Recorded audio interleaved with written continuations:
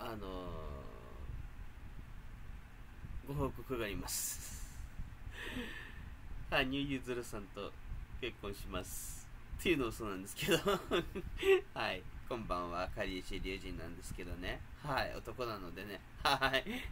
なわけないと思うんですけどね。ないと思うんですけど、当然なんですけど、まあ、あのね、まあ、台風がね、今日はね、昨日かとつい、昨日かな、今日は大丈夫だったんですけど、まだ強くなってるんですよね。なんか、なんかぶり返しになんか来たような感じで、最接近してるんですね。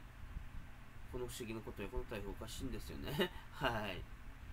明日も暴風域が来てですね、厄介なものですね。はい。まあ、それは、あの、その話は終わってですね、はい、あの、羽生結弦さんがね、なんと結婚するらしいんですよ。まあ、ちょっと驚いたんですけどね。はい。まあ、羽生結弦さん、おめでとうございます。まあ、相手は誰なのかがわかんないんですけどね。はい。まあ、どういう人なのかがあんまり、ちょっとよく書かれてないので、はい。まあ、なんですけどね。まあ、なんか今日はね、なんか夜ぐらいかな。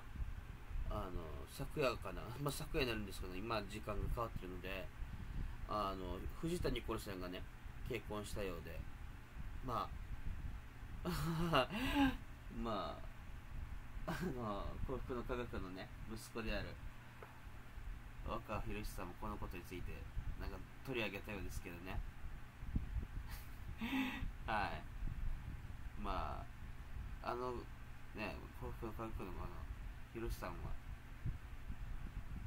確かなんか藤谷これ好きだって好きだったような気がしたんですけどね、まあ、ちょっと、うろ覚えなので、ちょっとあれなんですけど、間違えたら申し訳ないんですけど、はい。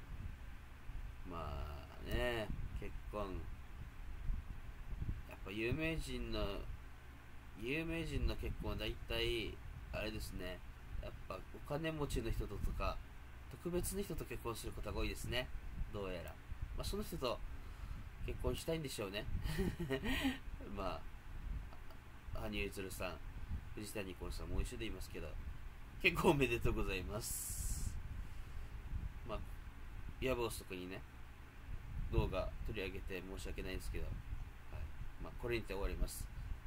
ご視聴ありがとうございました。では、失礼します。